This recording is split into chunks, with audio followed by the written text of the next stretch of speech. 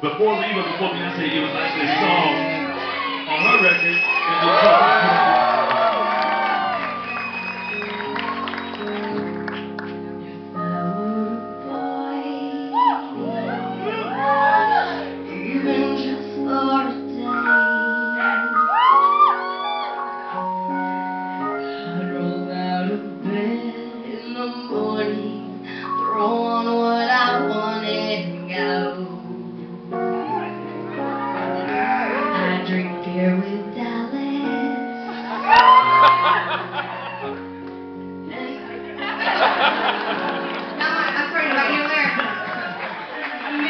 Preaching Jesus is amazing.